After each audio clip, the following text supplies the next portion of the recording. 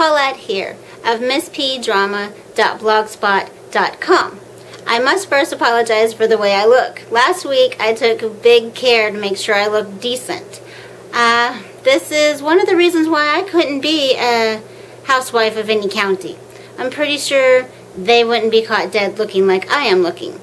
I have a sick kid who just got home from school that my mother-in-law went and picked up for me. So I have not yet had my shower or changed my clothes yet, of course. So here it is. I'm going to do this as quickly as possible because I put it off thinking I could do it later. This is one reason why you should never procrastinate. Last week, Ms. Cat, or Mama Cat rather, wanted to know about our blog title, how we got it, what inspired it, things like that. So here we are this week. This week she wanted to know where we do our posting. Where does the inspiration come from? Uh, how long does it take us to make a post? When do we do our writing? So here we go. This is my room. That's my computer. You can see it's up on Mama Cat's site so I don't forget what the prompt was or what I'm supposed to talk about. That's my keyboard. It's usually down there. This, I think, is what qualifies as our computer desk. Used to be a shelf of some sort in some former life, I think. This is my room.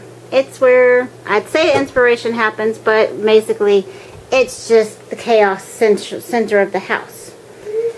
Our room is kind of also like the storage room, and we share it with my son. That's our hurricane fan. It needs a shoe to prop it up or it falls over.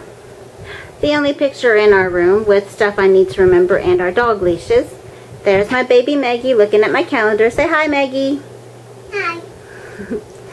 and that's my closet. Trust me, you don't want to open it. Megan, turn the light back on. Thank you.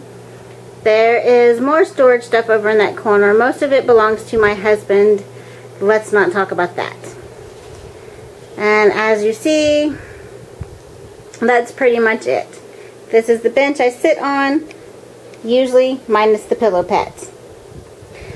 Now, how long does it take me to write a post? When do I do my writing? I usually do my writing in the morning. I don't usually plan it out. I usually just post whatever is in my head at the moment. Now I am working on a post that I have been writing notes about, so hopefully that one will be really fun to read. I usually do my posting in the morning because it's really the only time I have to myself, except for the evening times.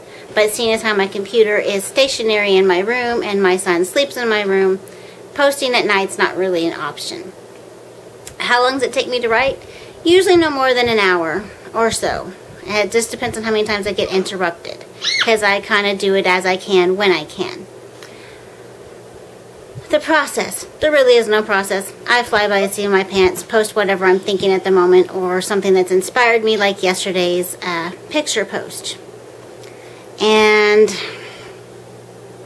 I guess that's pretty much it. And so you see, all in one one little vlog post. Why, one, I can't be a housewife of any county, and two, you kind of get the idea of where I work. Uh, the only time I don't work in my room is if my husband has been nice enough to leave his MacBook at home or I take it over in the evenings and use it. That's pretty much it. Those dogs barking, those are mine. Say bye, Maggie.